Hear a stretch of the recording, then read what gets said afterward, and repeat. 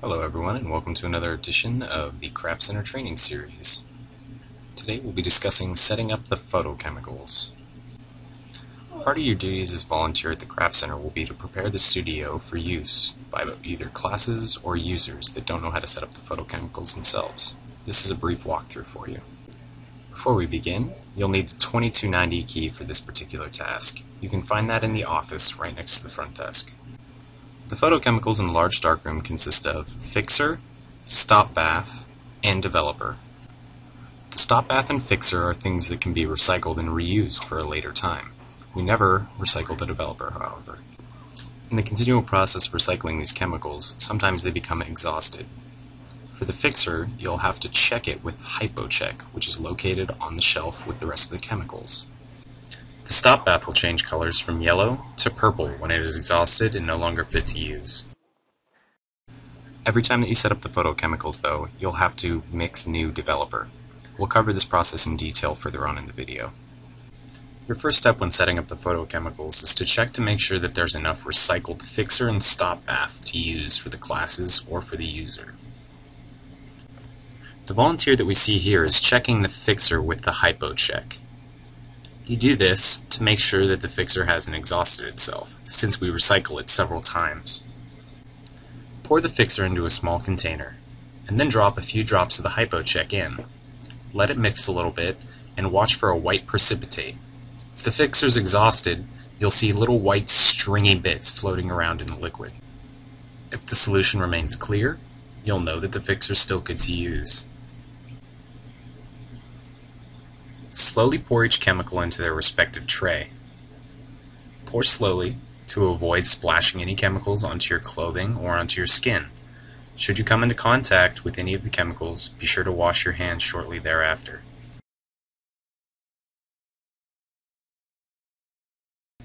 After adding the fixer, we'll move on to the stop bath. It looks like the stop bath's empty, so you're going to have to use the 2290 key to open up the cabinet underneath the table and then refill the stop bath. Each respective photochemical has its own pitcher that are located near the trays.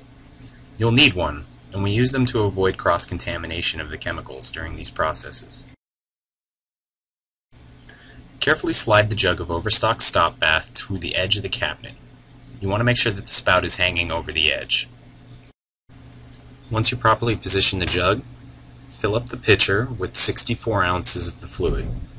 After you've filled it to the correct amount, you can put it into the tray.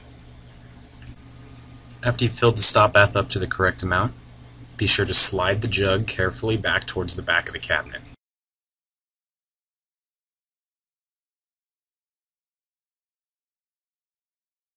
Again, be sure that you're pouring the chemical into the correct tray and not to get any on your clothing or skin. Our final step will be to mix the developer. Mixing the developer is a very easy task, but you have to be careful and precise when doing so, since the concentration of developer needs to be very exact. Carefully remove the jug of concentrated developer and set it on the table inside the tray. Next, grab the small measuring cup. The first step in mixing the developer is to pour the concentrated developer into the photo measuring cup. There are two different amounts that you can use. One is for class use, and the total is 64 ounces. The second is for individual use, and the total is 48 ounces.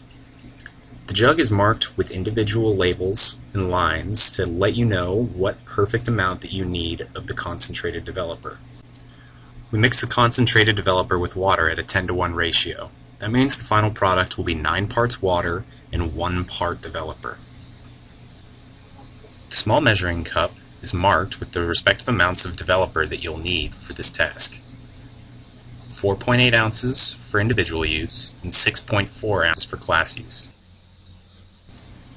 Now that we've poured the correct amount of concentrated developer, we're going to pour that into the respective developer pitcher and then add water. Remember, if you're mixing for a class, you should end up with 64 total ounces of developer. If you're mixing for an individual, you'll end up with 48. So, slowly begin adding water into the pitcher. This demonstration was done for a class, so we had to mix 64 ounces of developer. When doing this yourself, be sure to work slowly and deliberately. Don't over-dilute the developer, otherwise the developing times will be thrown off. As you approach your desired mark, slow the water flow down to a trickle.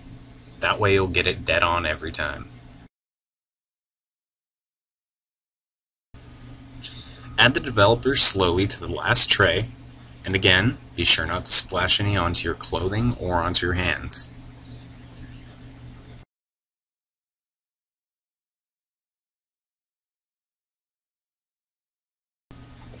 After all the chemicals are safely in their trays, be sure that all the respective pitchers are in their correct place so that the person who cleans them up at the end of the night can find the pitchers easily. When you've safely poured all the chemicals and your job is complete, be sure to replace the developer, the measuring cup, and anything else that you found in the cabinet back where it belongs. When that's done, you may lock the cabinet and head back downstairs and help the rest of your volunteers out. Be sure to catch our video on taking down the photochemicals and how to properly dispose of them. As always, thanks for watching, and I hope this has demystified the process of setting up photochemicals for you. Have a great day. Bye.